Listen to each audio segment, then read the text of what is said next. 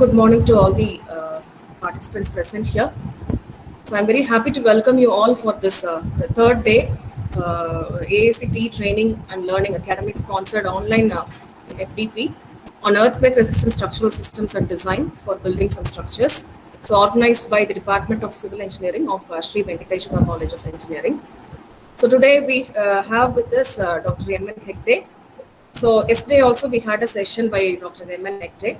So today he is going to deliver a lecture on prognostics and health management of aging, uh, aging infrastructures from machine learning, deep learning, big data to IoT-enabled serviceability analysis. So I'm very much happy to introduce uh, uh, Professor M.N. Hegde to the participants once again. So Professor M.N. Hegde is the professor in PG Structural Engineering from Dr. Ambedkar Institute of Technology, Bangalore. So about his educational uh, background, he has completed his BE Civil Engineering from uh, BV uh, College of Engineering and Technology, Hubli, and also ME Structural Engineering from uh, University Visvesvaraya College of Engineering, Bangalore, and also PhD from Indian Institute of Science, Bangalore. So, and he's very active in various uh, professional activities, and uh, he holds several positions like uh, past secretary of ICI and past chairman of ACCI Bangalore Center then uh, member of board of governors uh, for, for Instruct Bangalore. And also he was the executive uh, committee member for Indian Society for Earthquake Technology and also IAAC Alumni Association. Uh, he hold membership in different professional bodies like ISTE, IEI, ICI, ACCE, then Indian Society for Earthquake Technology and Instruct, etc.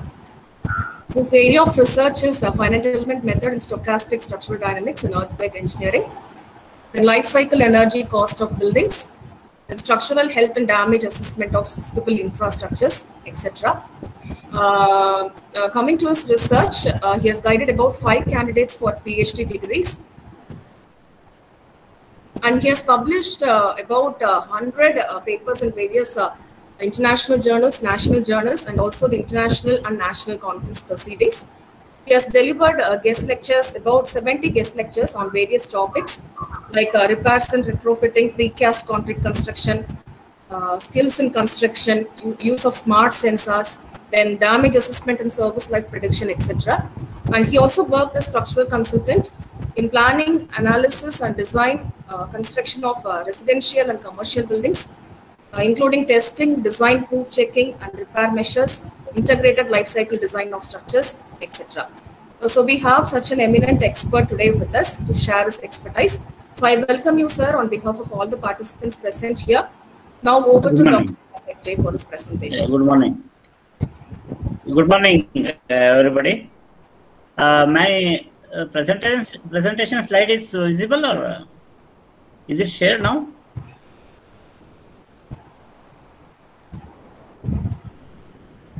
Hello?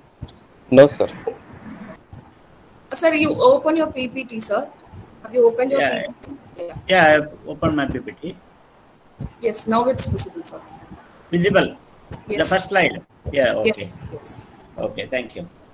Thank you, uh, thank you, Dr. Kumuta, for uh, a nice introduction and uh, for uh, you know for the invitation to deliver a talk on uh, the what is happening uh, worldwide on uh, health monitoring of infrastructure.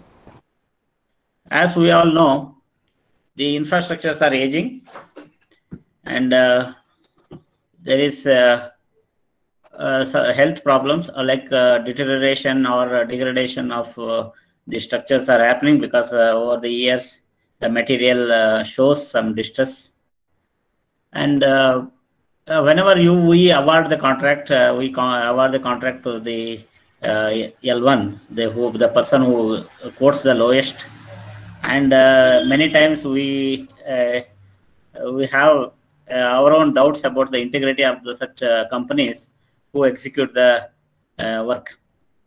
there are several other reasons also for getting this getting into the problems of infrastructure construction, design, construction, and management issues we as uh, engineers and researchers, we are into uh, the prognostic and health management because we need to uh, see that the structure or the infrastructure we build it serves the purpose for which it is built.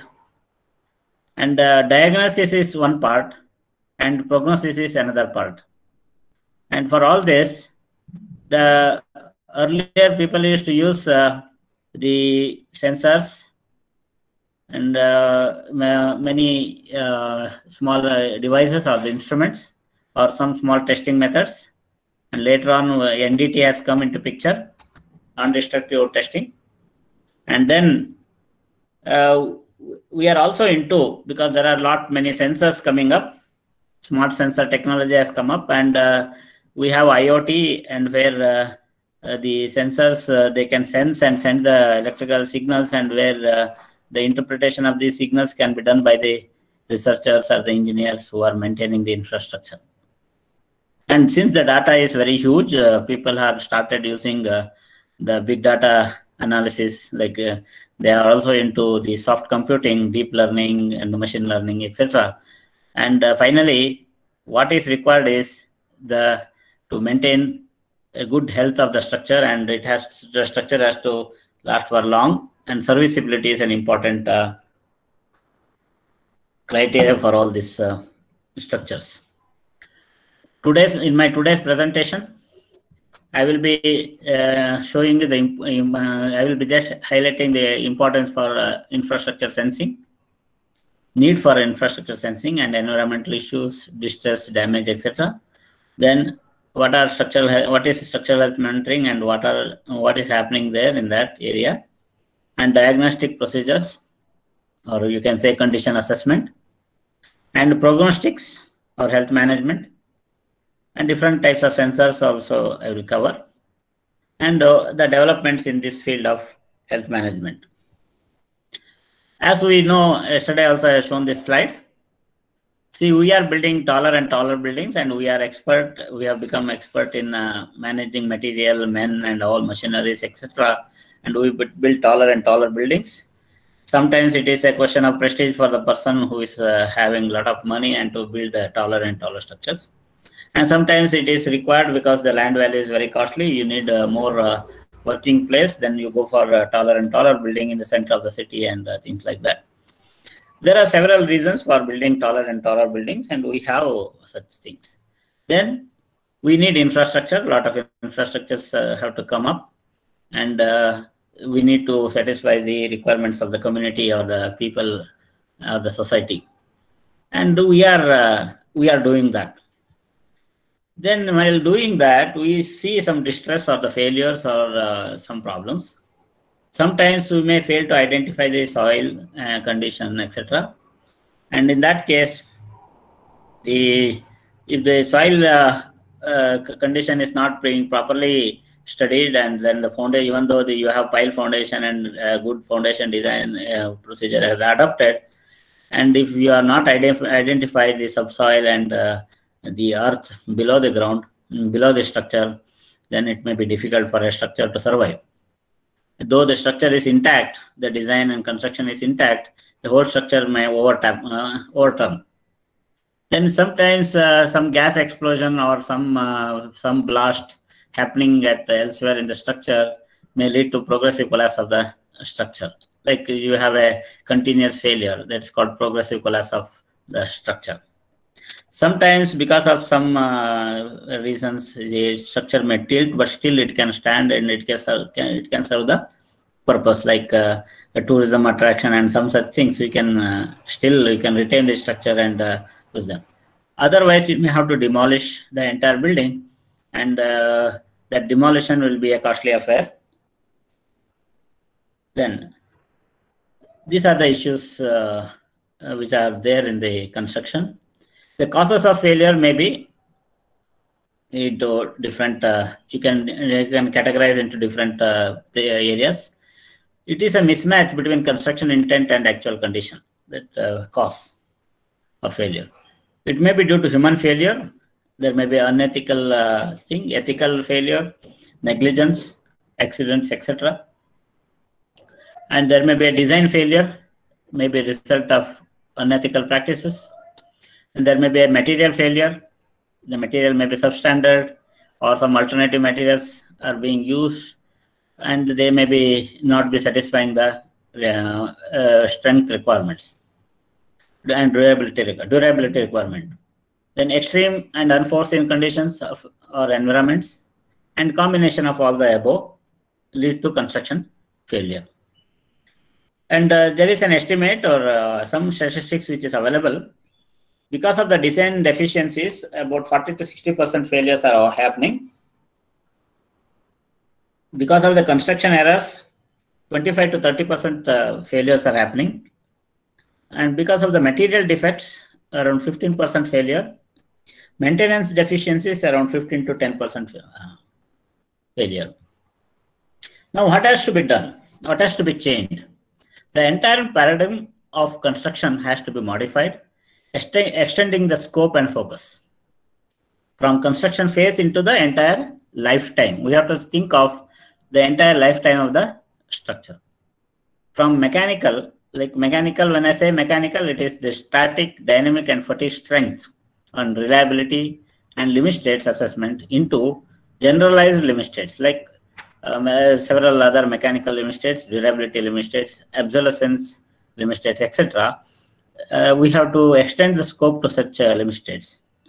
From cost and quality of construction phase, we should not only look into the cost and quality of construction, we should also look into lifetime value, lifetime quality, and lifetime cost of the structure. There is one uh, new development and which is being practiced world over, which is called integrated life cycle design of buildings and structures. We all know what is analysis and design of buildings and uh, the construction of buildings and structures. What is new in this uh, life cycle design of buildings and structures? Here, the requirements are one is the we have to satisfy the human requirements. We have to see the culture of the area in which uh, our structure is being uh, used. And then the lifetime financial cost of the structure. And we have to see the ecology of this. And these are all built in in the entire uh, mm, uh, execution of this infrastructure or the buildings or structures where we have to satisfy the lifetime quality and lifetime performance so that the human requirement is satisfied and we have a better culture in the use of uh, buildings etc then methods of integrated building design.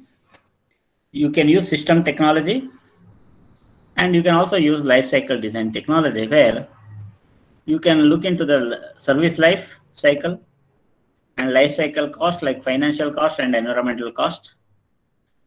You can use uh, better structural mechanics using statics and both statics and dynamics. And then you, you are into building physics and biology where you have to satisfy the health requirement, the moisture condition, condition, acoustics, and thermal behavior. And finally, the service life design where durability is an important issue. Maintenance and repair is one another big issue. And then finally, after the entire building is constructed,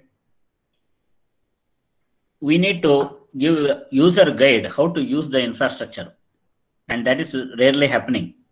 Because user guide is an important uh, uh, uh, stage.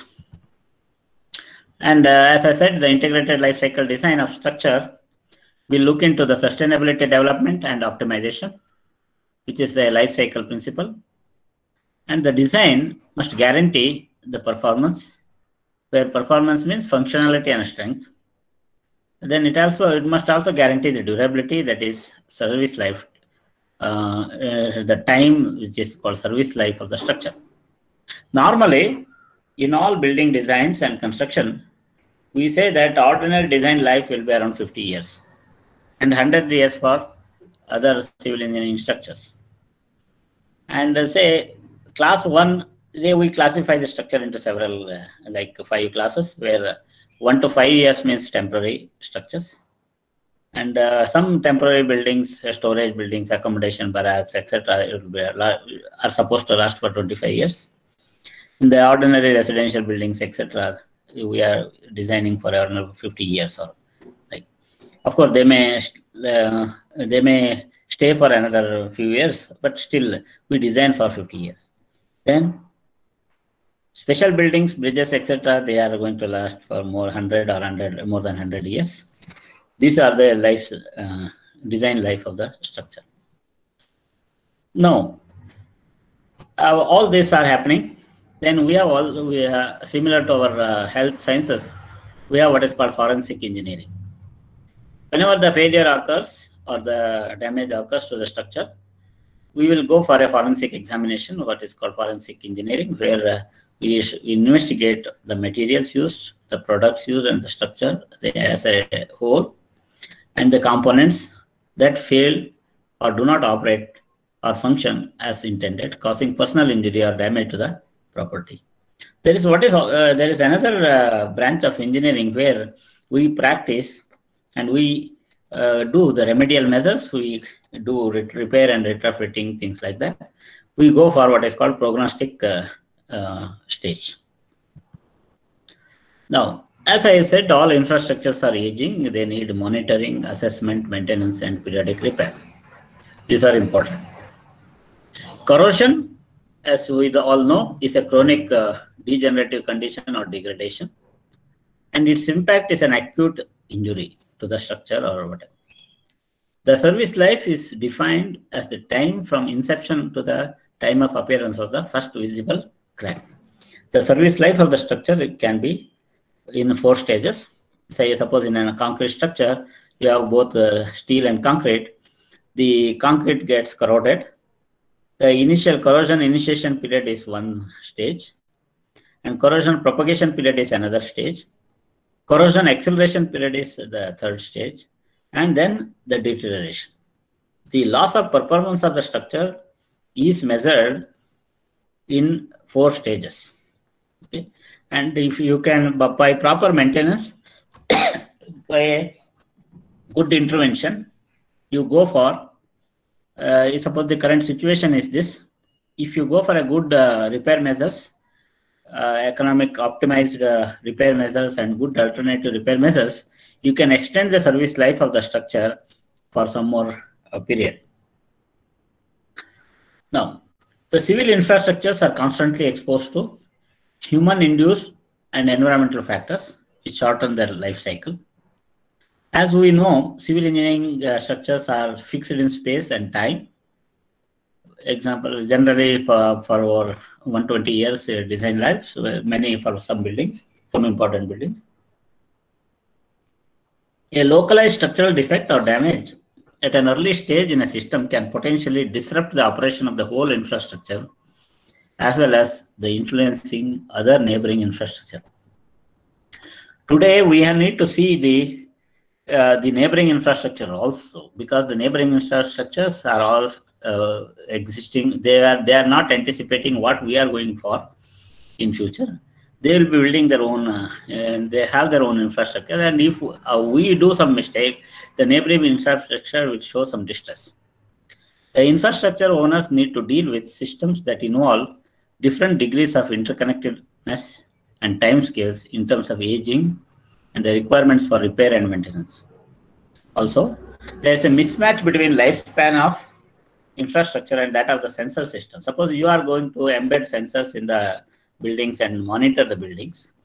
And if the sensors are not going to last for the entire life cycle of the infrastructure, then yeah, we are we have need to replace the sensors and see that there should be sensors should be adaptable for replacement or sensors may have a long life. And any, any innovative sensor system that can measure the usage of infrastructure for a long time will help to develop this whole whole life cycle monitoring concept. And as we all know, the structures fail. The causes of the structure failure is one uh, question. What causes the failure? Can we contain the failure? That is another question.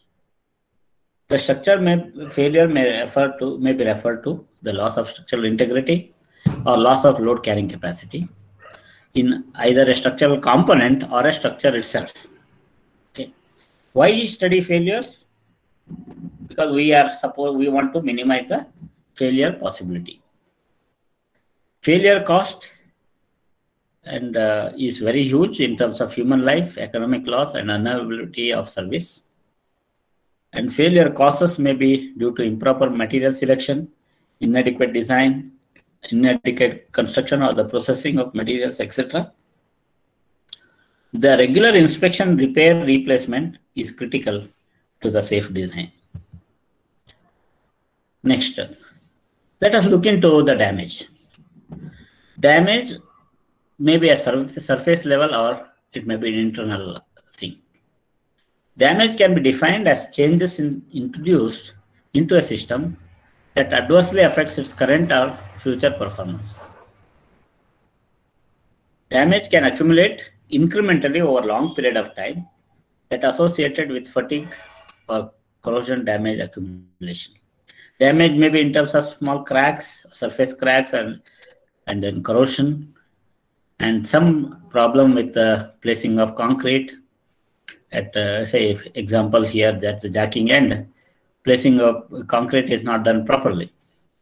Damage is commonly encountered, encountered in civil engineering structures due to creep, corrosion, shrinkage, fatigue, and scour. What do we do in uh, damage identification? See, we can go for different types of uh, different ways in identifying the damage. One important uh, uh, technique what people use is the vibration measurements today.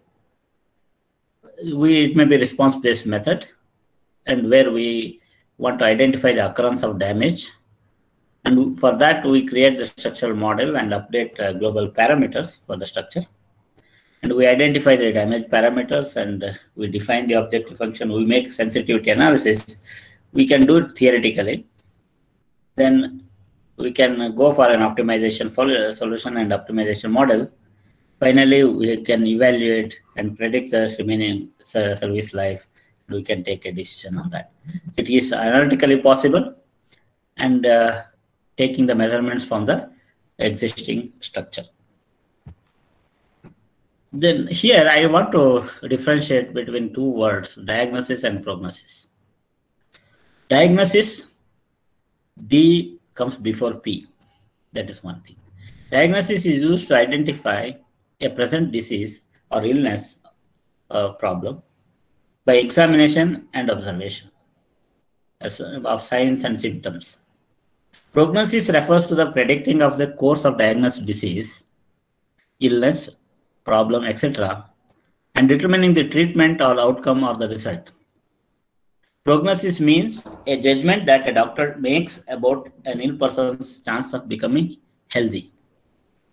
An opinion about the future of someone or something. Okay, to be clear, prognosis comes after diagnosis. Now, what is damage diagnosis prognosis? It is to estimate system's remaining useful life. First comes diagnosis, where we use smart sensing technologies and you identify the, you diagnose the structure. Then it comes prognosis where you have to characterize the material you have to identify the structural damage and damage modeling you can make. And you can make a detailed analysis. And finally you can make a performance prediction and you can also predict the remaining uh, lifetime or residual life of the structure. Okay the structure health is being compared with the human life, human health. It is almost similar to that. In the childhood, the, uh, the children are vulnerable for uh, injury and illness, etc. during the until they grow uh, uh adult. Then during adult stage and uh, performing stage, you meet with accidents and diseases, etc. But still, uh, proper with proper treatment, it gets cured and you still serve the purpose. Then at old age, the deterioration, and then finally death or autopsy or burial, whatever.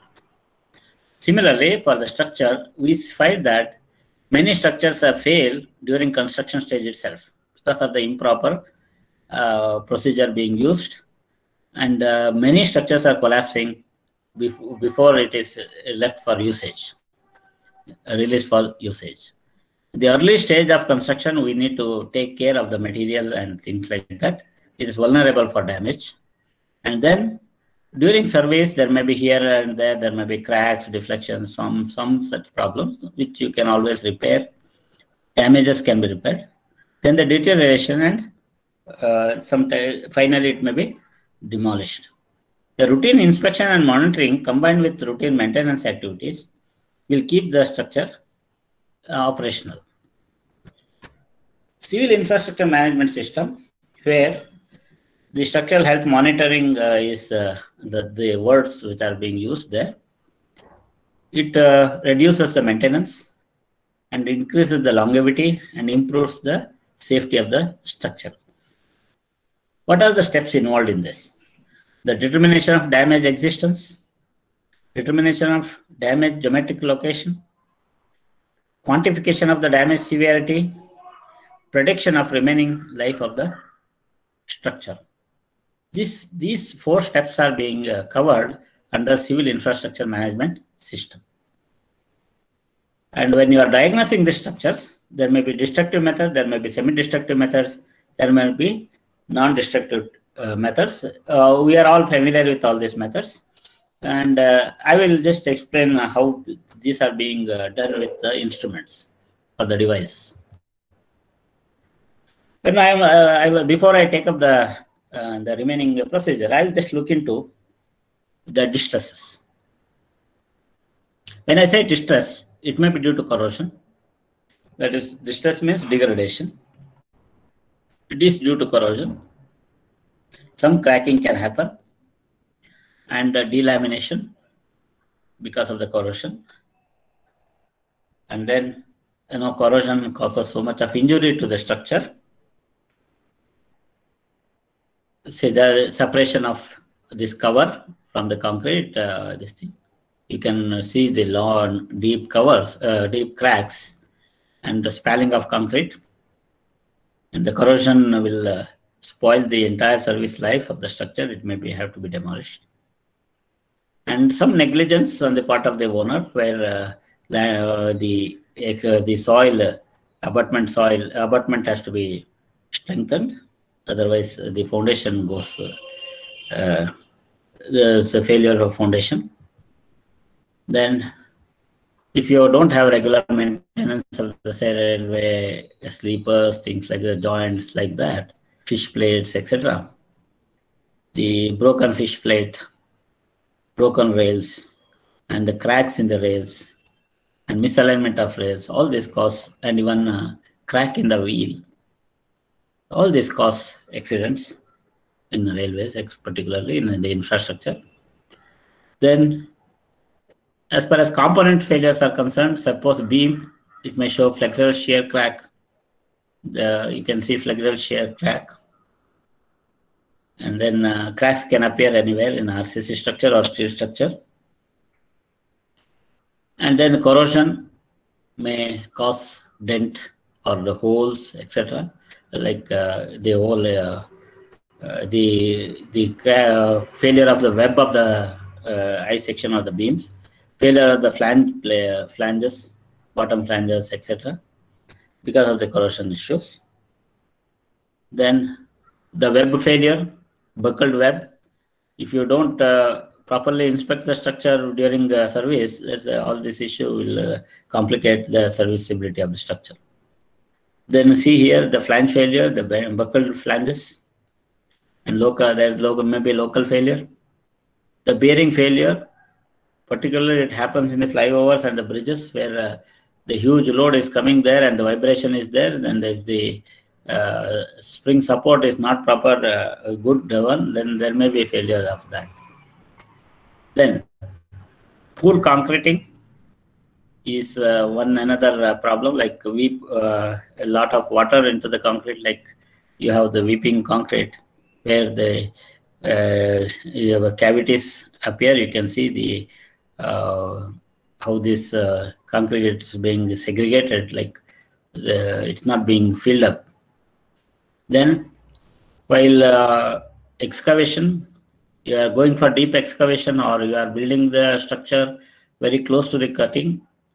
If you are not properly identifying the uh, anticipate the future and or if you don't anticipate whether there is a conduit or a boulder or whatever in soil testing if there are faults that is also another issue.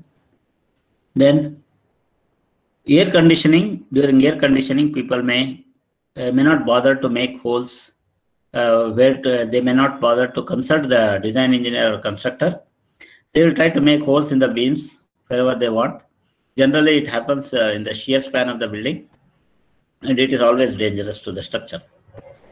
Service ducts are being provided uh, making holes in the beams in the shear span area. Then uh, regarding the tower steel structures. It may be designed for one uh, antenna disc which is subjected to wind pressure and which causes uh, bending and torsion in the tower. And uh, the owner of this tower may hire uh, go for number of uh, antennas depending on the requirements of the public or he may hire the tower for other agencies also sometimes. In that case the, the entire tower may be subjected to twisting moment. Because the wind force will be acting on the dish and that wind pressure into the lever arm wind force into lever arm that uh, moment arm will cause uh, bending moment at the base of the tower and twisting happens and failure can happen. And then blast, impact, terrorist attack, all this, they cause their own type of damage. There, it may damage, if you, if it, it can damage one of the columns of the structure. If one of the columns fail, the entire structure may be in trouble. Then fire is uh, one another issue where uh, uh, the fire may be compartmentalized. Fire may be at the top floor and it may uh, uh, spoil the neighboring uh, uh, compartments also, or it may go to the next floors also. depending on the the time duration of the fire and the extent of fire, the, the building also gets damaged.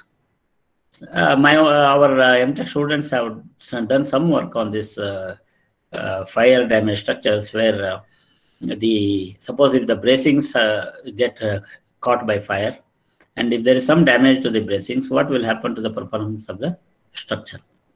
Suppose if there is fire in the first floor and the ground floor is intact and what will happen to the performance of the structure? Or say there is a canteen in the ground floor fire happens in the ground floor and uh, uh, what will happen to the performance of the entire structure when there's a ground fire in the ground floor? Or if there is fire in the neighboring building uh, what will be its impact on the existing structure? These are the things performance of this infrastructure during the environmental uh, impact is an important issue for us engineers. The structural damage detection methods there are several methods. One is yeah, the localized methods where we go for regular uh, testing, visual testing, and then uh, magnetic particle testing, ground penetration radar. You can use lasers.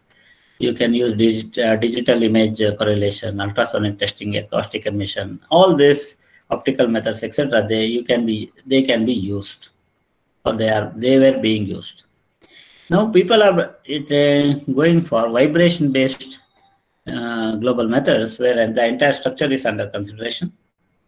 They may be under they may be classified as parametric methods or non-parametric methods. Under parametric methods, we can go for input-output method or output-only method. I will come to the explanation of this later.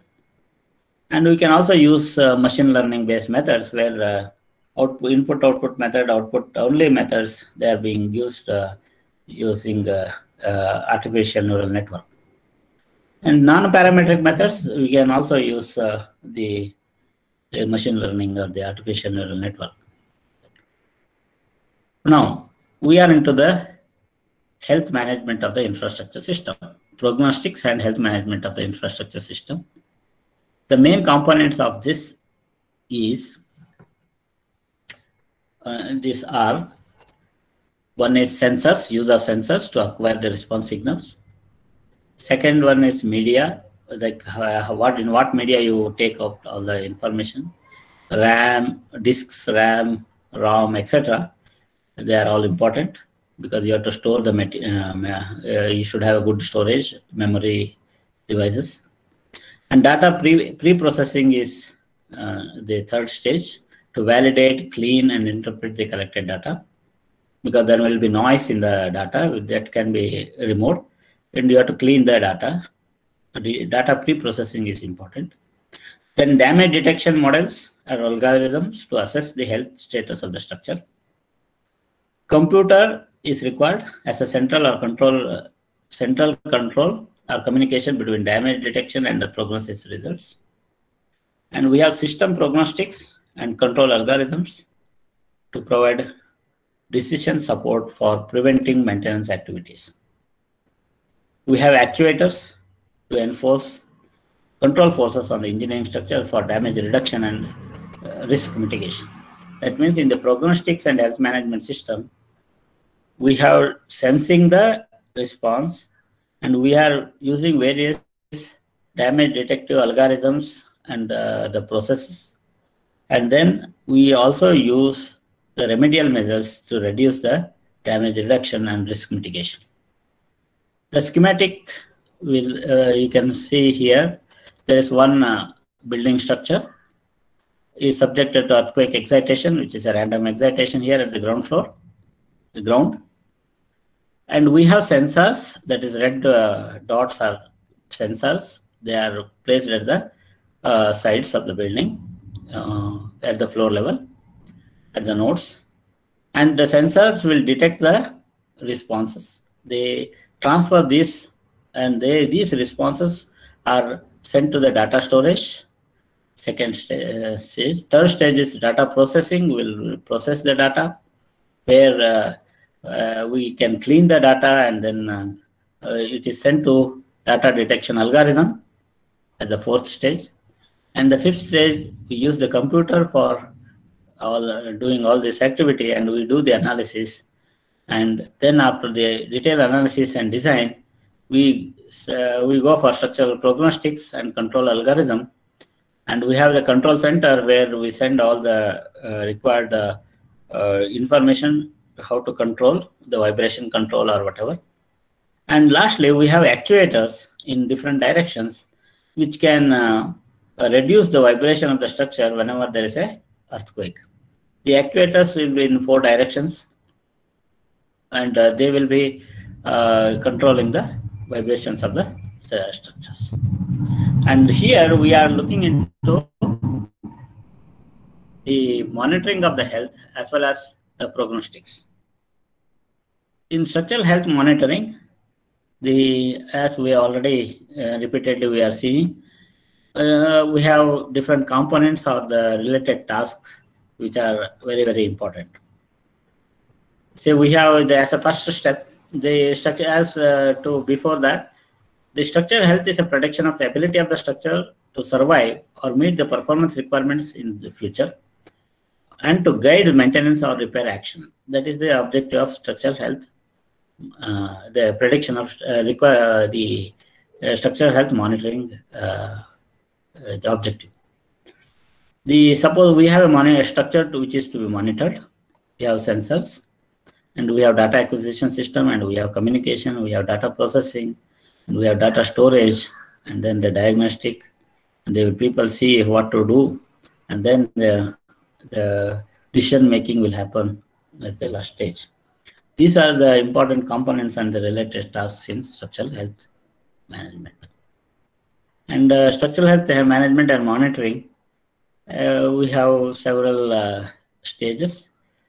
Uh, it involves health monitoring. It operate. It uh, sees the operational evaluation, how this structure is being op operated, and uh, data feature extraction. Whatever data you have collected, you have to classify the data and then uh, analyze the data, then uh, we have to use the statistical model for uh, converting data into an information and that information is useful for decision making.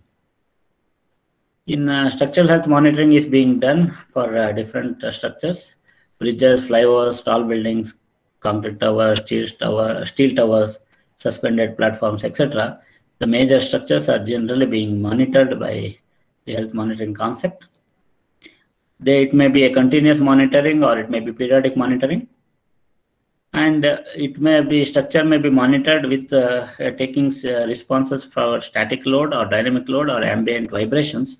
That is uh, the regular traffic vibrations. You can monitor what is the response due to uh, regular usage of the structure.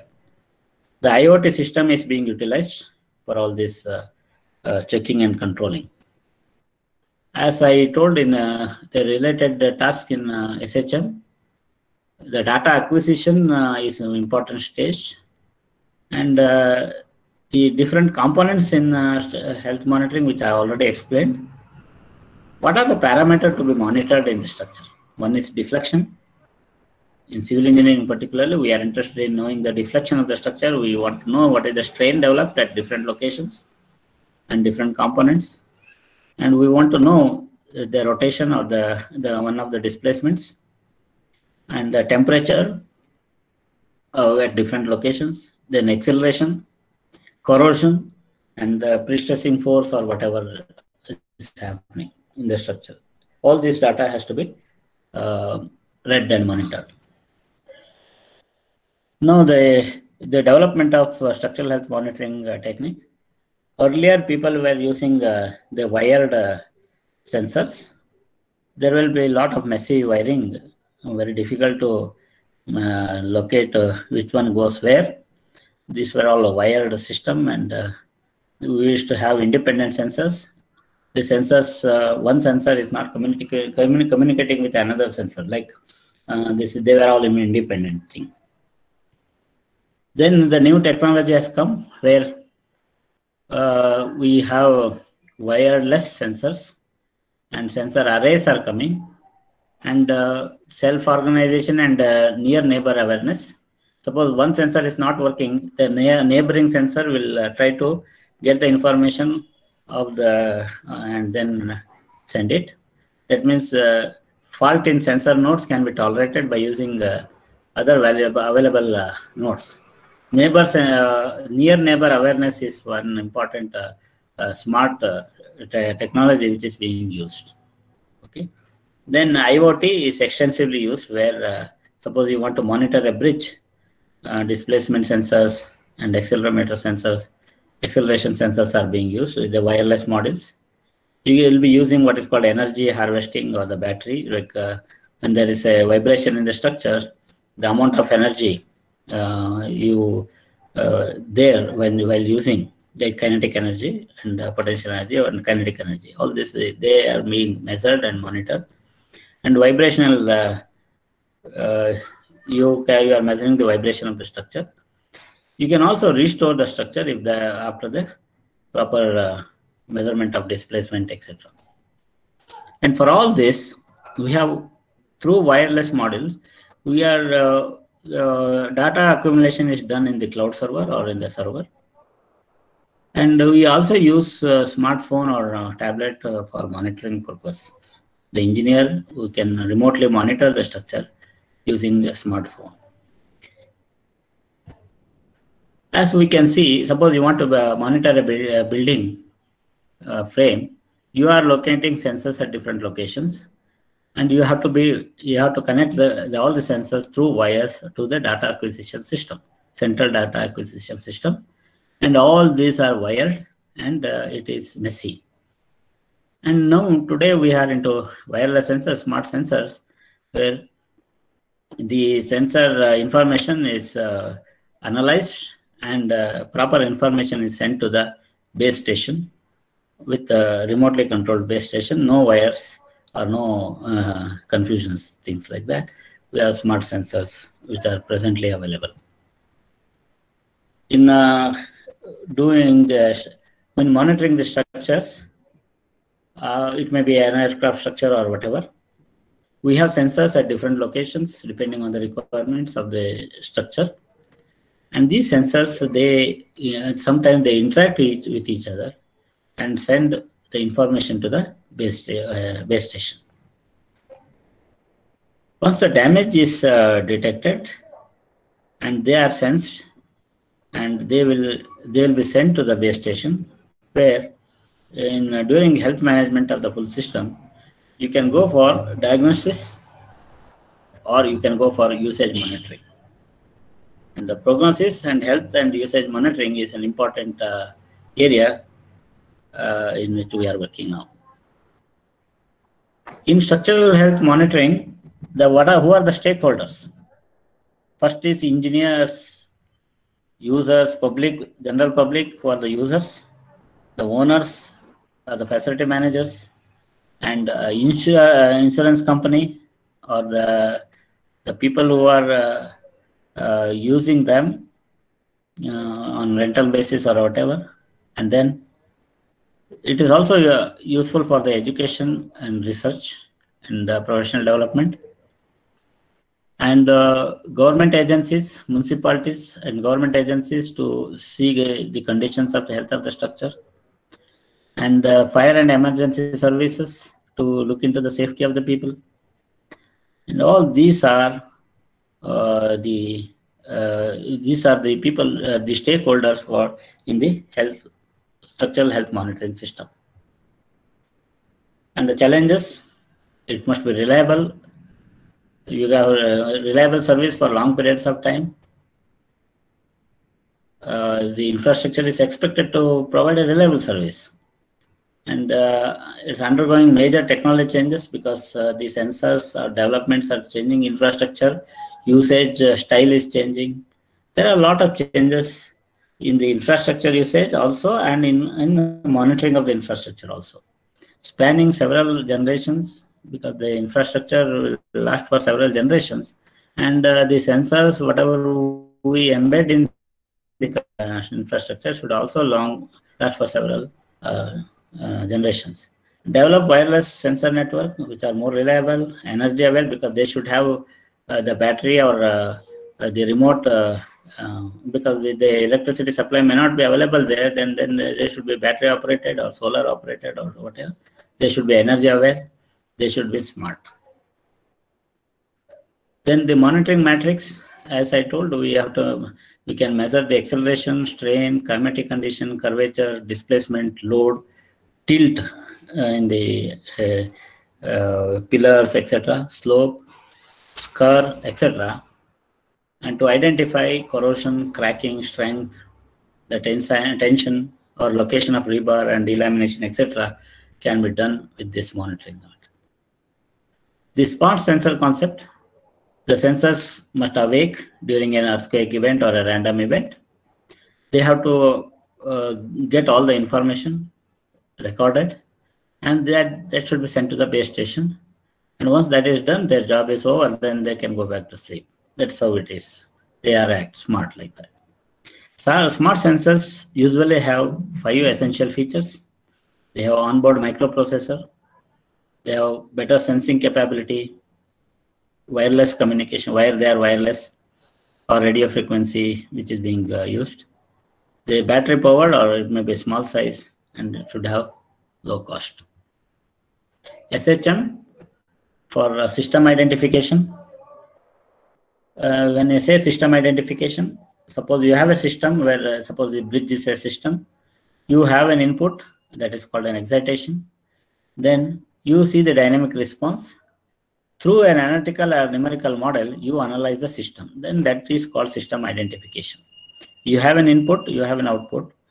Be using input and output, putting into an analytical model, studying the system, that is called system identification. It's a forward problem. Okay. Next, there are different structural condition assessment method, uh, procedures available, techniques available. They may be signal based or they may be model based. The non-destructive testing is one uh, popular uh, uh, way of doing things. Non-destructive evaluation using sensors is another way of doing things. Then analytical techniques, using analytical techniques with the help of uh, measurements. Uh, we have what is called uh, modal analysis. Then we have modal assurance criteria. We have what is called frequency response sensitivity, which we have seen yesterday. Then we also use what is called probabilistic approach, where uncertainty quantification can be done. You, and we also use what is called stochastic finite element method and many other methods. And people also use soft computing technique. Let's say wavelet analysis or signal processing is being done. People also use artificial neural network or pattern recognition and pattern recognition there. System identification using uh, Internet of Things. They also try with fuzzy machine learning or deep learning, genetic algorithm. They use genetic algorithm technique. And manifest another uh, way of doing things.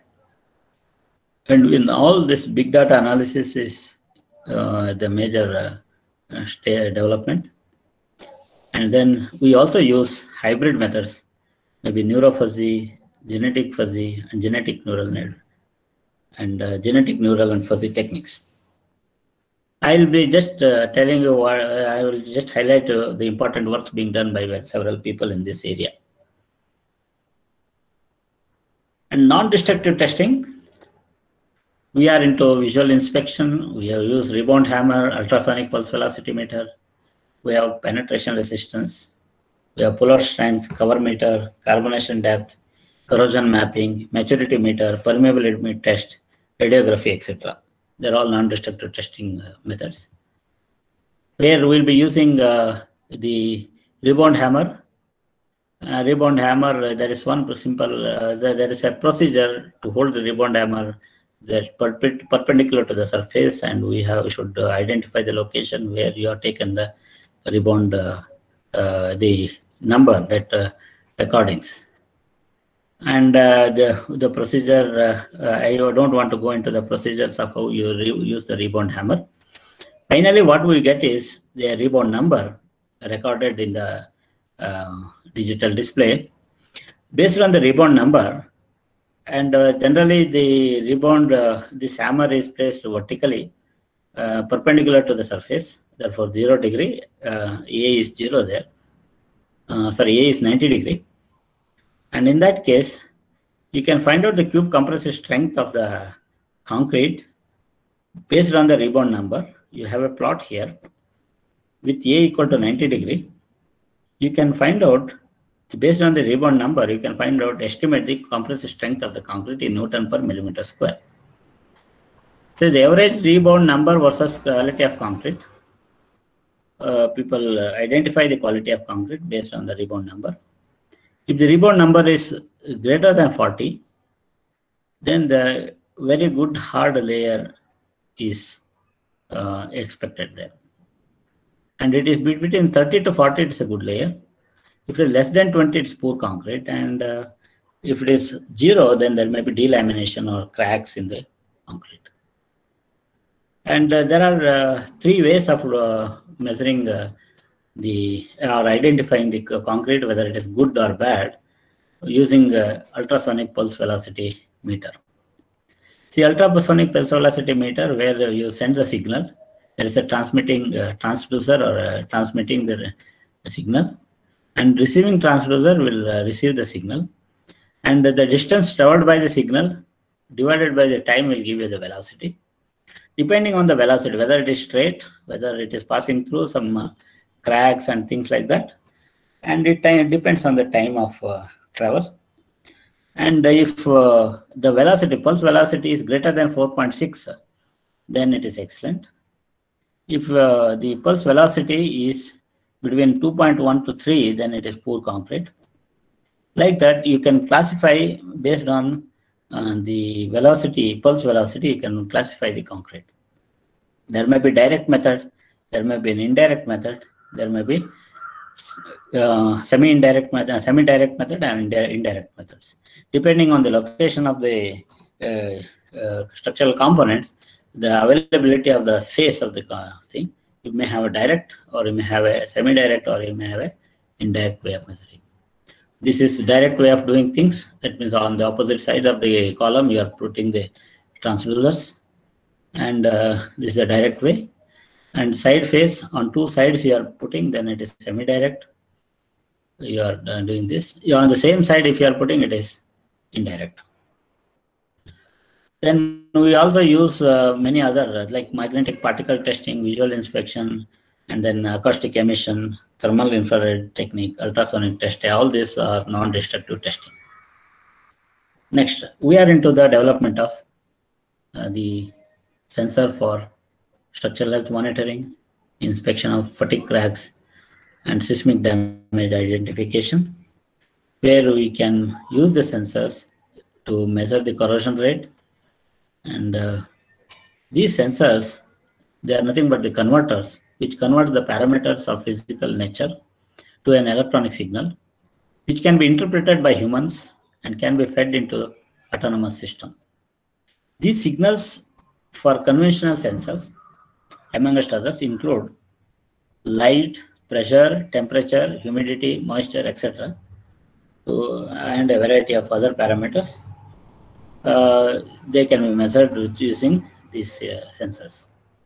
Using sensors to monitor public infrastructure such as bridges, roads, buildings, and provides awareness that enables a more efficient use of resources based on the data collected by these sensors. Sensing is at the heart of the smart infrastructures we call it as smart infrastructure when uh, uh, yeah, smart sensors are being embedded in the infrastructure. The types of sensors which were being used earlier, fiber optic sensors, optical fiber Bragg grating sensors, LVDTs, piezoelectric sensors, and uh, self-diagnostic fiber reinforced structural composites, load cells, strain gauges, accelerometers, humidity sensors, etc. They are they were being used earlier. all these sensors are being used either to measure the vibration, or corrosion, crack detection, crack location, crack width, displacement that is deflection of the members, the inclination or the tilt, then the scour or the foundation settlements, etc. These are all the problems of the infrastructure which is of our concern. Okay. Then there people have tried using sensors for monitoring different bridges. See, there are there is a st statistics available. Uh, Tsing uh, Ma Bridge in 1997, which is which was being monitored with about 300 sensors, and then uh, Queenstay Bridge in 2016, which is being monitored with around 200 uh, 2,000 uh, sensors. 2000 sensors with crack width, crack length, lo uh, crack uh, location, then uh, corrosion rate, inclination, that is tilt or whatever, displacement, etc. All these parameters are being read by the sensors. And so many data, so much of sensors, and there is a big data with the data analysis is a major concern. And uh, as we have seen, uh, the fiber optic sensors are being used earlier. The cracks detection can be done. These uh, fiber optic sensors are being uh, uh used to measure pressure, strain, humidity, rotation, etc. Similarly, fiber Bragg grating sensors are being used. I will not take much time in this. Fiber piezoelectric sensors are also available fiber optic uh, sensors for different uh, applications.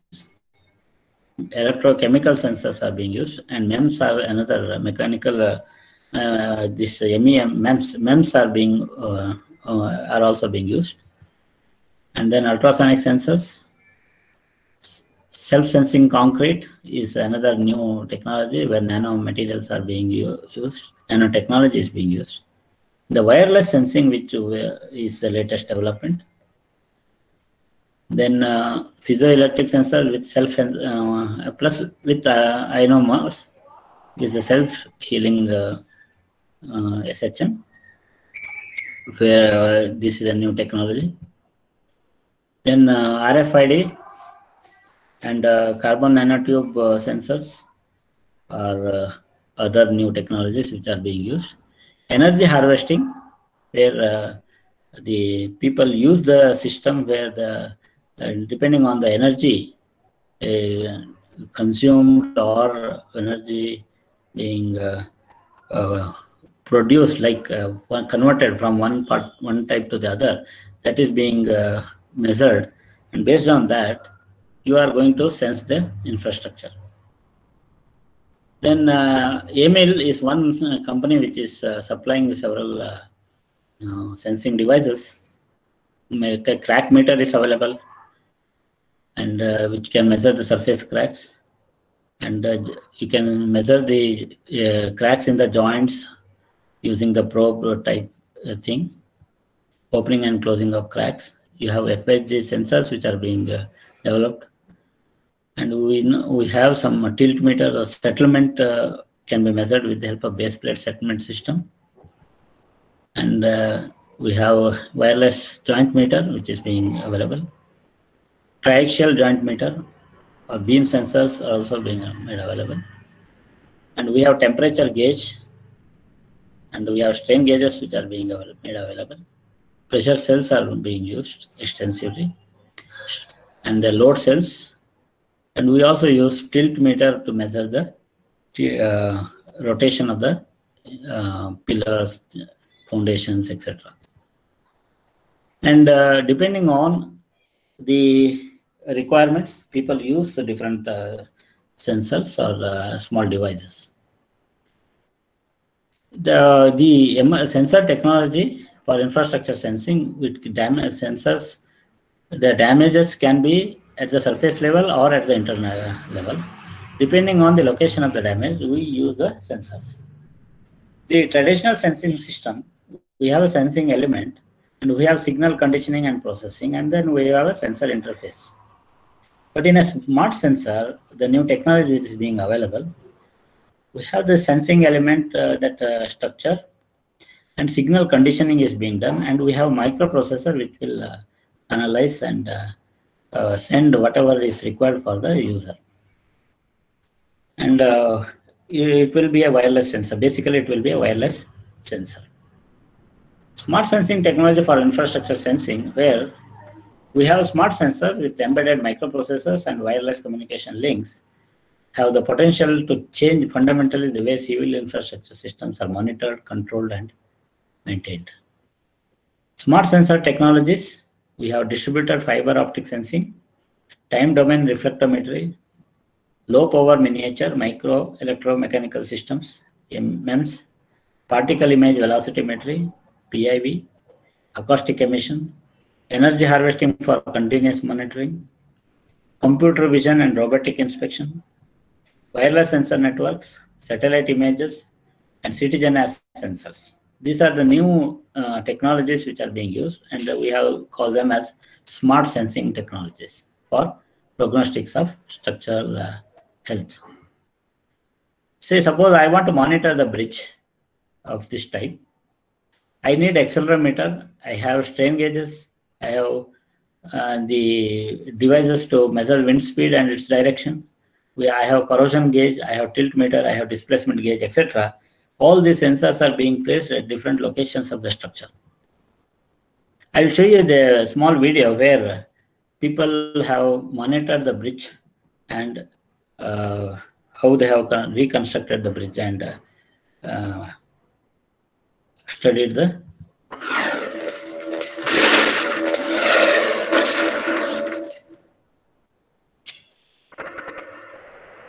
travel around by car, we expect the bridges we have to cross to be safe and secure. But many of them are very open.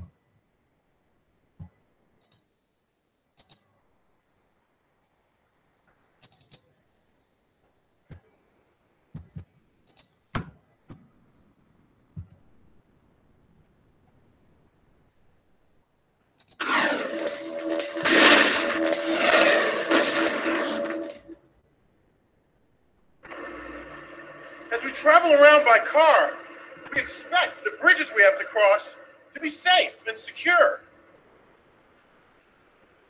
But many of them are very old, and a few have already collapsed.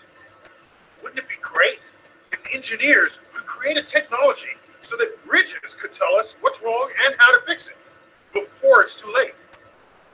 Correspondent Peter Standring reports on efforts to prevent another tragedy like the one that happened in Minneapolis not long ago. Minneapolis 911. The collapsed. People are stocked up on 35. The whole bridge fell into the river. At the end of rush hour on a hot summer day in Minneapolis, Minnesota, a major bridge over the Mississippi River suddenly collapsed. Into pretty good traffic car. In the river, there are cars sinking and people in there. We know, ma'am. Everyone's on the way. Over a hundred cars fell with the bridge. Among them, a community center school bus carrying 54 children. And then all of a sudden, out of nowhere, it was just this big drop. We'd all hit our heads, come back down, hit our heads, come back down. You just heard kids screaming, Oh my God, oh my God, what happened? What happened? The disaster killed 13 people and seriously injured over 100 more. And if this bridge collapsed, what about all the others like it across the country? We have 76,000 structurally deficient bridges in the United States. That's almost two and a half times as many as we had 20 years ago. And we need more modern, non destructive technologies to inspect those bridges today to make them safer for the future.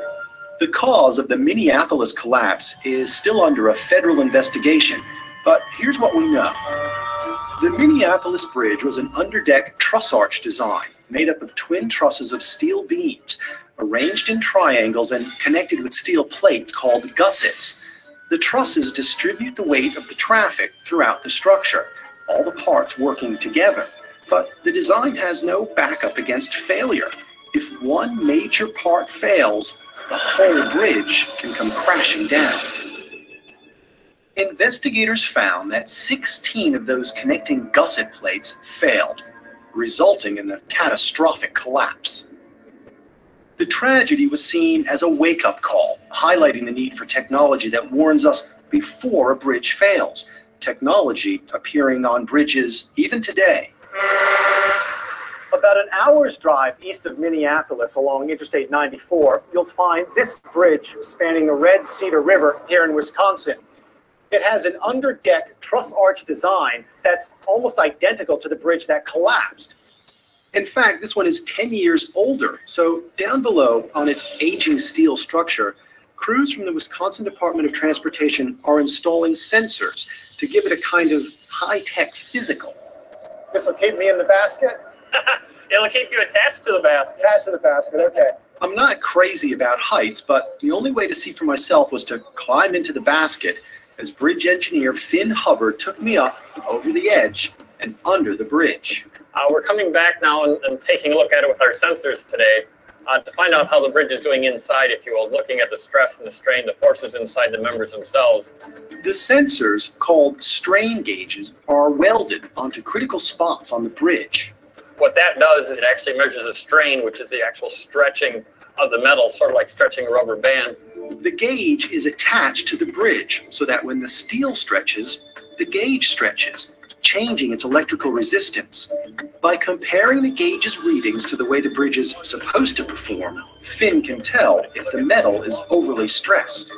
And do you think ultimately this is making for a safer bridge, or at least it's going to give you the information that you need to, to keep it safe? I think what it's going to do is, is give us that added measure of insurance that the bridge is behaving the way our computer model back in the office is saying it is.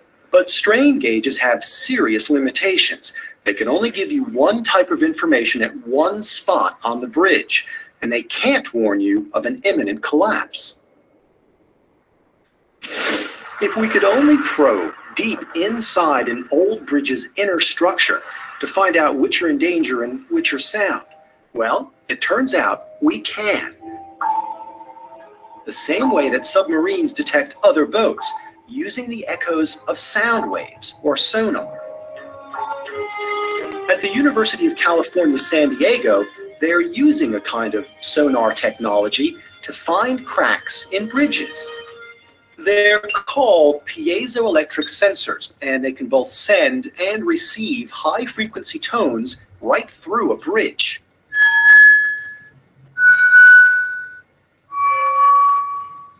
So this one will launch a wave into the structure, while this white one here will then detect the signal at the other end.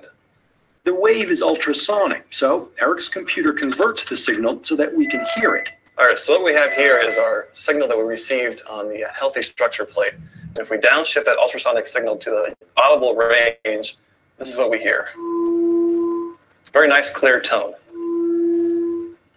But if you fracture that steel plate, the crack forces the ultrasonic waves to take different paths. Now we replace that healthy beam with a damaged beam. Put the same sensors on it and apply the same signal again. This is what we get out.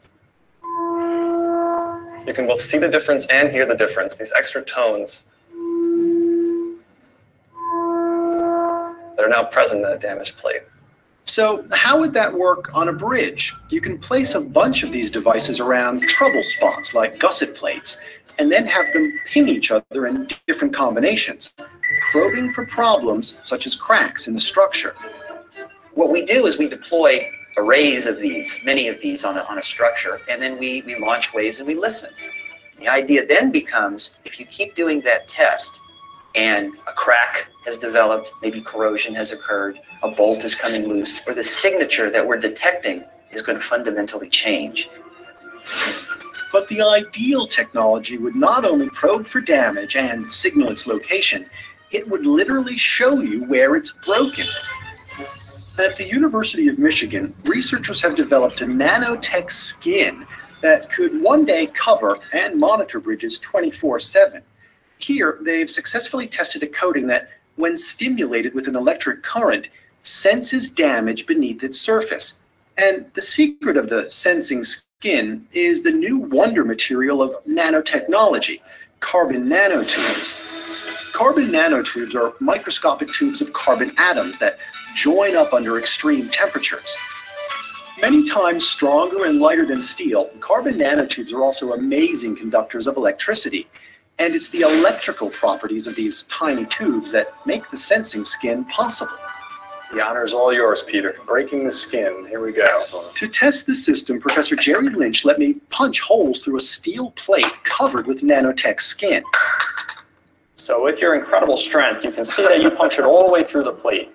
The electricity passing through the skin creates a high resolution map on a computer, providing a visual representation of the puncture holes. So the magnitude of damage would be correlated to the color coding that we have here on our images. The skin could be sprayed or glued over critical bridge components. When damage starts to form, the skin's electrical current is forced to flow in different directions, change that a computer reads and displays as damage. And by altering the chemistry, different layers of the skin can be made to detect different types of damage deformation, cracks, corrosion, all at the same time, catching threats before they become dangerous. Could you envision, you know, a bridge engineer sitting in his office monitoring the well-being uh, of a structure through a system like this? Yes, that's one of the beauties of this particular technology is how self-evident damage appears in these images. Within months of the Minneapolis collapse, construction on a replacement bridge is already underway. This bridge is a big responsibility for restoring confidence. We expect our bridges to be safe and to get us where we need to be every day. The new bridge is being built of high density concrete, and its design includes multiple backups against failure and what's promised to be a state of the art sensor system. The main concept is to have many different technologies working in concert. And collectively, these will all work together to bring us the best data for the bridge. But even as the bridge takes shape, the scene evokes mixed feelings for Julie and Sasha. I think this might be the only bridge that I may feel comfortable going across because it is the new structure. The new bridge, no matter how many times I cross it, for me, I just, I'm never gonna get the sounds and the sight out of my head from the actual bridge collapse.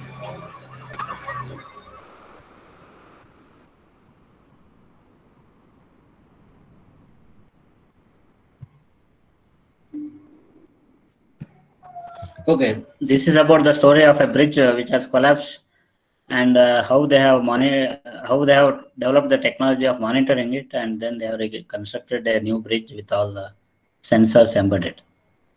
Now, what is uh, happening is in all this analysis, we get the data or the observations or the uh, because of the, using different sensors and converting data into information and using proper statistical formulas and we have to describe the behavior of the structure.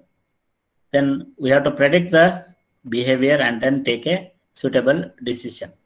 Where the big data analysis plays an important role, where we are into two types of uh, learning. One is supervised learning, the other, other one is unsupervised learning. In case of supervised learning, we have the information from damaged and undamaged structures, both, and we study the uh, system. In case of unsupervised learning, we have data available only for the undamaged structure, and we have to predict the uh, and we have to predict the uh, behavior, and then we have to take a suitable decision on the uh, structure. The, these two are the new technology. I have made a small uh, attempt to use uh, Hadoop or MapReduce uh, data processing technologies. I just worked out with a small flow chart like thing where identify deflection, strain, rotation, stress, crack width, etc. from different sensors. You get information and it will be a bucket of uh, information.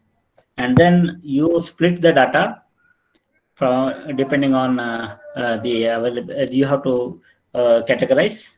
That is called splitting of the input data. Then each one you have to map how much uh, uh, that mapping is another third stage then shuffling, again, uh, all this data, you have to shuffle them and then you can reduce them. And then finally, the final result, you will have a, uh, you have a meaningful uh, result. From this input, uh, which is which was like a, just a bucket having a lot of data, you are into a small uh, scattered split of information where you will have a reduced information which can be understood by the uh, analyst. So the bridge monitoring, as I said, uh, you have sensors at different locations and uh, people have worked on this and uh, there's a, a, literature which is available on the analysis of this uh, big data.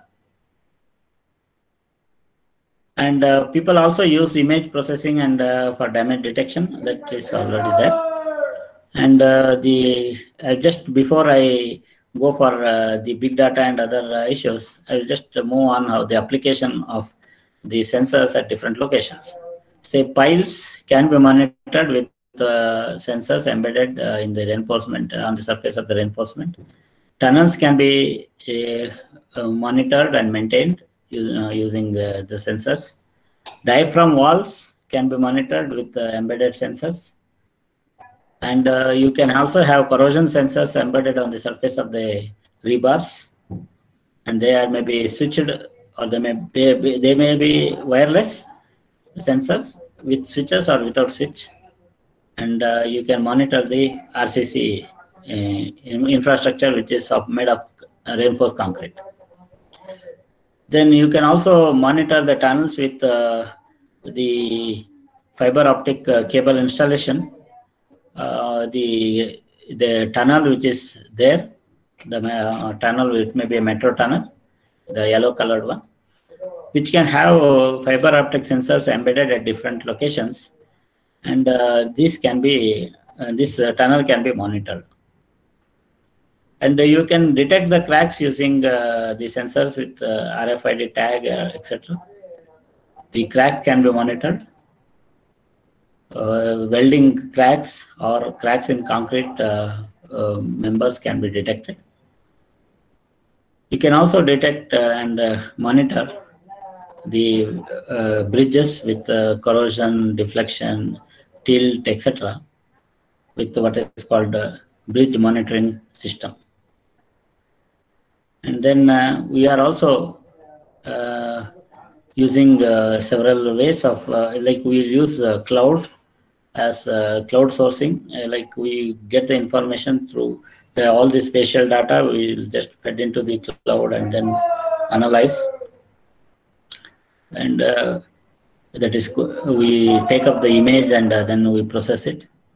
And wireless sensors are being used for the monitoring of uh, tunnels and we can also use wireless uh, sensors for monitoring the highways uh, with H-shaped uh, uh, sensors uh, to monitor the highway surface of the highway uh, or the roadway.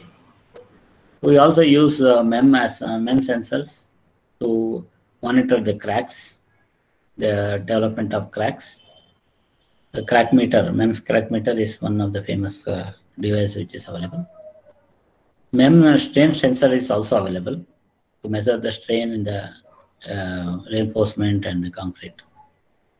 And energy harvesting, where uh, the human motion can be uh, measured on the bridges and other uh, structures. And uh, you can also measure the inside energy, uh, and you can also measure the outside energy. And then using this energy harvesting technology, you can monitor the system. You can also use citizen as sensors where uh, people nowadays people uh, most of the people will use you'll be using smart uh, mobiles uh, where uh, you can also people will be using uh, the smart watches also. And when they are using the infrastructure they the information can be taken collected from their smartphones and here we call it as citizen as sensors where the crowdsourcing of travel journey times and etc can be uh, done. And uh, the whole uh, infrastructure can be the real-time monitoring of the infrastructure can be done with the help of this smart system. And this is a novel technology where uh, you can uh, use uh, the the devices which people are using every day. Okay then uh, people several people have done research on uh, uh, using uh, machine learning and deep learning uh, uh procedures for vibration damage detection of detection of infrastructure, where the infrastructures are being monitored with the help of smart sensors and with wireless sensors, and where we have what is called a hardware component is one part and software component is another part where uh, in software we have data detection algorithm and uh, damage, uh, damage detection algorithm and damage location. All this can be localization can be done with the help of important algorithm which can be used. And uh, as I already uh, told this, this prognostic health management system will have uh, the sensors to the actuator will be monitoring the whole infrastructure. We have to uh, then uh, big data analysis for structural health monitoring where uh, the voluminous data has to be managed and it has to be processed using uh, hardware and uh, software. The big data usually will have three v's like volume voluminous data which is being stored. And we have variety of data like deflection corrosion rate tilt acceleration uh, crack length, crack width, etc. The variety of data is available. The velocity, the speed at which the data is generated and processed, all these three are to be dealt with. And the other two V's which are often added to the description of big data are uh, variability and veracity. The inconsistency of the data is another problem there, and the veracity, quality of the captured data. These are the issues which are being handled. And uh, there uh, people uh, use what is called data compression technique data processing and data compressive sensing technology which is being uh, adopted. And they are use a technique called reduction and uh, reducing the dimensions of the data. Sohn et have worked on extensively on this area the second option will be parallel computing and distributed computing which is being adopted in big data analysis. I will not go into the details of all this. And uh, map reduce is uh, one uh, way of handling things. Like we have an algorithm where you can analyze all this data for your decision making. And as I told you, it will have a supervised approach or unsupervised approach, where uh, in supervised uh, features we'll have training and prediction both.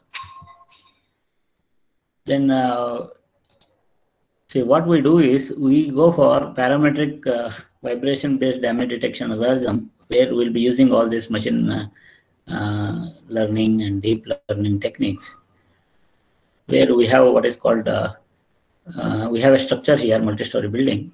We have an input, and we have the output here. It is input and out, both input and output are being uh, sensed, and the information is sent to the uh, data processing unit where the comparison will take place, and you detect the damage and you localize the damage where the damage is. In, in many cases, you will not have the input uh, this thing. You will get get the output only um, procedure where based on the output only you can analyze the information and then uh, go for damage detection and damage localization. The big data analytics in online health monitoring is being uh, extensively uh, used, where uh, people use MapReduce execution, where input files are uh, they will have a clumsy of data, a lot of data is, which are being available there in the input file and then they are being processed. And you have a reduced output file which can be readily understood by the user. And uh, this is being uh, uh applied to a concrete specimen with an experimental uh, uh, slab where the cracks were introduced and smart sensors are being used and the information which they have which was gathered are being reduced uh, and uh, analyzed using what is called map reduce technique and uh, the time uh, involved for the analysis has will be uh, was only 163 seconds whereas the traditional method took more than 1500 uh, seconds and even the memory size was also higher for the traditional method and the stress distribution and uh, various other cracks, uh, development of cracks, etc. They're they're they're being uh, those their informations are being extracted from the sensing devices. that is being done with the help of big data analytics. There is another work which is being done by N et al. Natural excitation technique, where uh, eigenvalue realization algorithm is being used with uh, the where uh, the big data analysis uh, was the technique technology which is being adopted. Big data enabled multi-scale serviceability analysis for aging bridges were, was being studied by uh, Yu Liang et al. Uh, that is being reported where multi-scale uh, uh, serviceability analysis of bridges are being done where Hadoop was being used for to analyze the data and convert data into information and and take the decision on the health of the structure. Then uh, deep learning with uh, uh, technology is being used for in a, in US for a, a survey of bridges where uh, uh, the sensors are being used to study the uh, get the information on weather and traffic and uh, other uh, loading system on the structure and uh, the data which is collected through sensors on the bridges embedded in the sensors they are the they are being extracted. And uh, the age of the structure material properties traffic load rainfall all these features are being uh, incorporated in the analysis. And then this input data with multi-layer technique uh, that is deep learning they are being classified and uh, the informations are uh, split and separated and reduced. And then uh, uh the expected service life uh, the expe uh, expectancy life expectancy of the other remaining service life of the bridges being predicted. That is this is the way which they use finite element model. And then uh, they also use uh, uh, the information from the analysis. They use it for the hadoop ecosystem where the things are being analyzed. The nodes identified uh, the nodes on the bridges to where the sensor data are being uh, uh, collected. And Bayesian network for the bridges being taken like component wise. And these sensor data are they are interactive in nature. They are using for the they are used for the analysis. Uh, one minute. Uh, next. Uh, next thing is when you are going for a construction of the bridges, uh, long span bridges in uh, deep seas. In that case, you need to go for the IoT facility where unmanned aerial vehicle systems, UAVs, are being uh, uh, used with camera and 3D laser systems with QR codes and sensors installed on the components and uh, they are being uh, remotely managed. Otherwise, it is very difficult to manage such a huge infrastructure and uh, with a, so much of the time is involved in uh, reaching the place. Okay, then there is what uh, the IoT technology is being extensively used for uh, the even during the construction of the major projects like this. And the maintenance is another headache. Okay? These unmanned vehicles are uh, aerial vehicles with sensors and QR codes are being uh, used for such cases. And uh, regarding the multi-story structures and very complex structures, as I was telling in the last class, the, there are several degrees of freedom which are being has to be looked into there may be translation uh, tra like uh, displacements like translation and then rotation translation vertical, horizontal, and then the rotation. Three degrees of freedom at each node for a plane uh, structure. And uh, the sensors can be embedded to see that the information is extracted from the structure.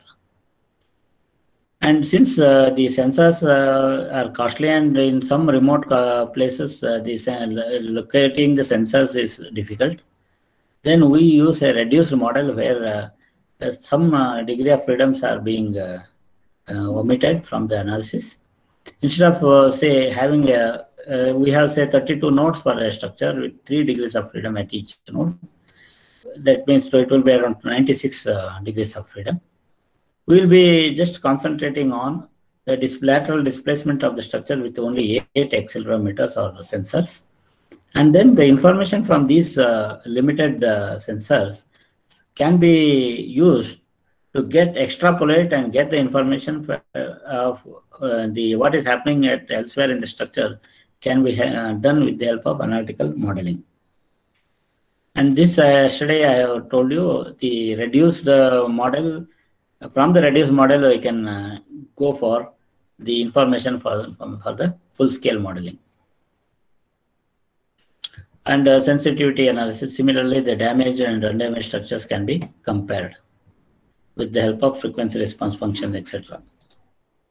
Then uh, people have worked on uh, buildings, uh, health monitoring of buildings with uh, artificial neural networks, with uh, machine learning based parametric techniques for structural damage detection algorithm, which is being used for a steel moment resisting frame and that is being uh, done. I have mentioned the uh, references there.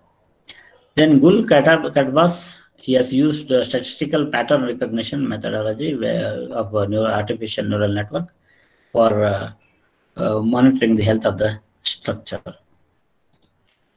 To monitor the health of the bridges, again, for both experimental study is being done with sensors embedded at different uh, locations.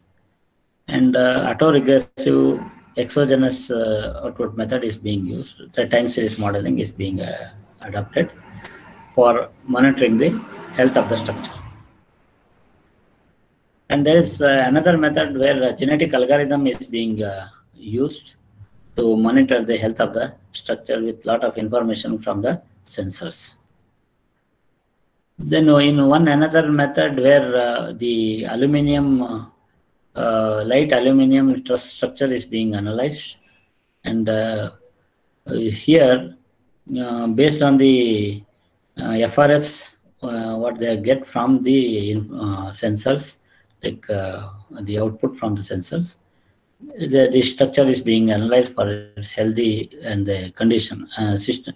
The, the structure is being identified multi-AN based approach where uh, we have structures with uh, different uh, substructures and uh, we have multi-layer uh, uh, uh, technology which is being used there to locate the damage, damage existence, and the ex extent of the damage.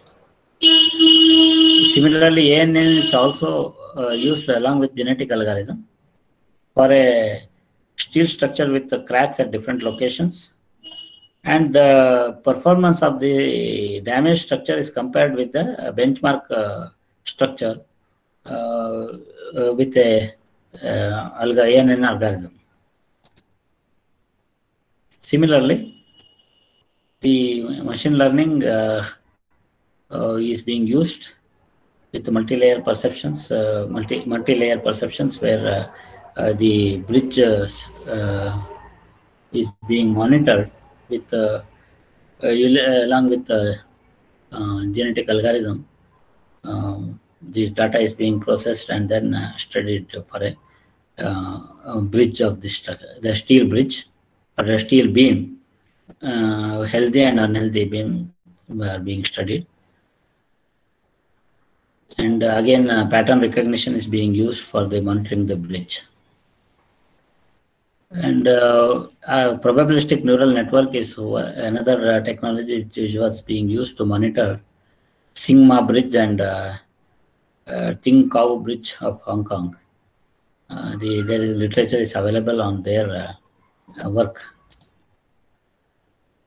again, machine learning is being used. It's a methodology which is being was being adopted for monitoring the bridge structure FEM analysis is being done, and that is analytical modeling. And uh, the data from the uh, sensors are being used with the multi-layer uh, perception with the ANN. We have the multi-layers here, and then um, the data being processed with the damage pattern is being recognized, and that is being compared with the analytical modeling. Similarly, the kernel-based uh, approach is being used by structural damage detection.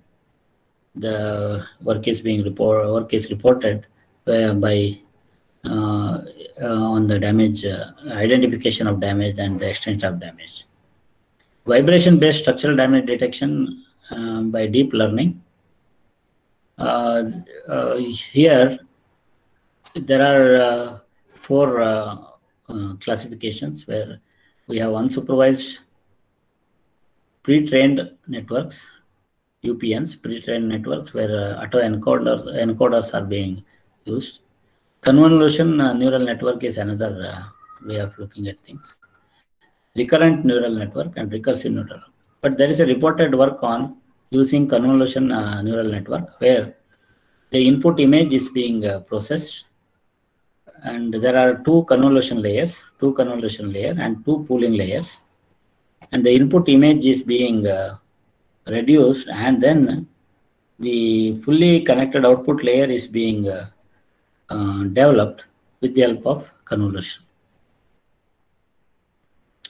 And then uh, convolution neural network is also being used for uh, the analysis by you at all for a uh, large scale data set and uh, CNN is being used by Abdul uh, Abdul uh, Jaber for uh, damage detection uh, study, uh, particularly on the bridge structure. They use a bridge structure with a bridge model in the laboratory model where they have embedded sensors at different nodes, nodal points, and the the bolting bolts are being loosened and the damage is being intentionally created the flexibility of the loosened bolts joints, they get give some information. Damaged structure is compared with the undamaged structure. That means uh, loosened bolt is with the structure with loosened bolt is a damaged structure. Structure with the proper bolting system was an undamaged structure. They, they were compared using the uh, ANN algorithm. People also adopt what is called multi-scale modeling for uh, analysis. For the entire bridge is one scale for uh, knowing uh, the details of the what is happening in the bridge uh, joints is uh, another scale. For monitoring uh, the health of the structures during earthquake, people use camera, microscope, microphone, and then vibration sensors and see how the collapse process takes place. And uh, even uh, for monitoring the uh, structure near the railway track, near the uh, highways, etc., we use what is called traffic-induced vibration sensors in the houses, and they are being uh, used for monitoring the safety of the houses. Finally, in conclusion, sensor systems need to be either long life or adaptable for replacement. Sensors are used to provide real-time information on the strength and rigidity of the structure. Sensors are used to study the dynamic measurements in the structural elements, buildings, bridges, dams, and tanks. Real-time information obtained from the sensors helps to predict the strength, service life of the structure, and safety of the structure. And uh, the development of smart sensors means true realization of the performance-based design and maintenance. Okay. And uh, we have several references there. And finally, see, seeing what everybody has seen and thinking what everybody has thought. Thinking what everybody has thought, uh, sorry, uh, nobody has thought is very important in all this analysis. Everybody is seeing something, but uh, thinking, uh, everybody does not think in the same way okay let us develop a, a, different thinking habit so that we can analyze and do things in a better way thank you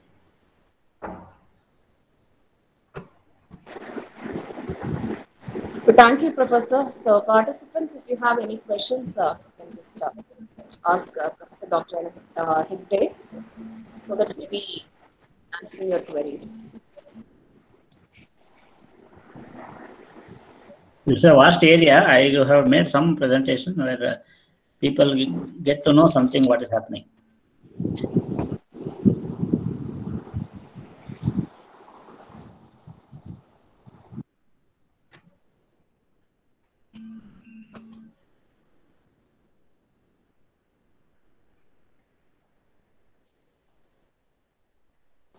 Uh, Professor, there is a question in the chat box. Hmm.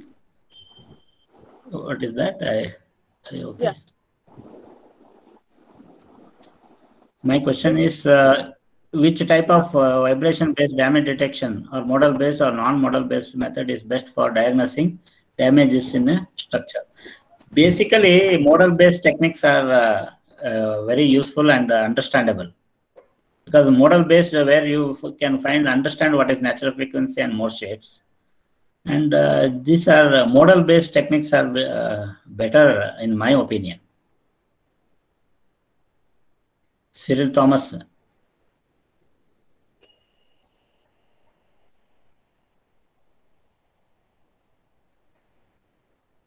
Hello I think he has my your question is answered. Okay, thank you.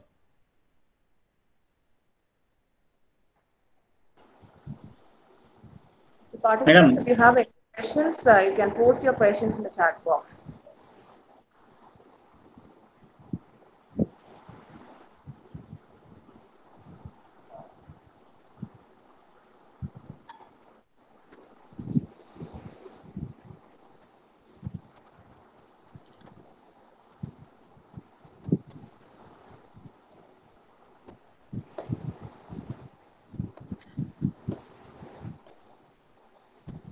There are few uh, cheaper uh, sensors which are being uh, made available. But uh, you can uh, use them for monitoring the cracks and uh, corrosion.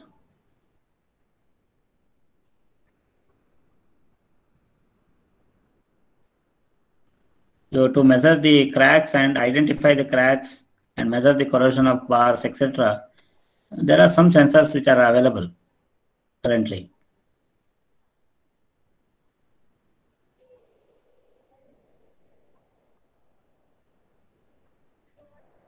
You can go to the AMIL uh, website where they have uh, shown several uh, sensors which are uh, readily available in the market for the users. it, it is uh, sold worldwide And uh, there are good sensors which are um, made available now, uh, simple sensors which can be used for the monitoring of the structures.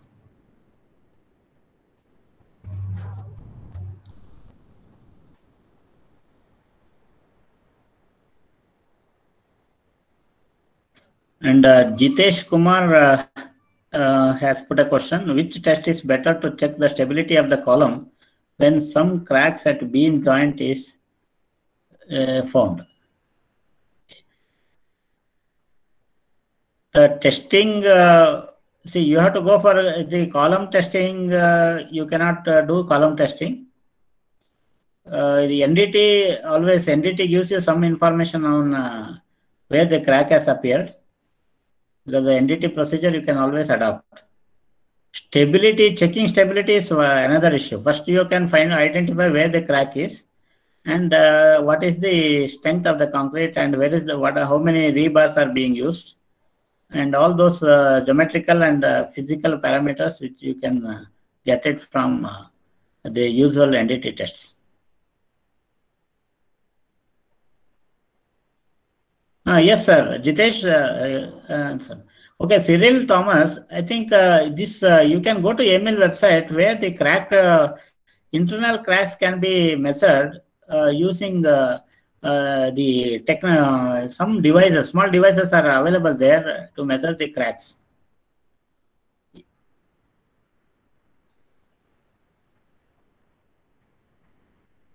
The devices are made available for measuring the internal uh, cracks.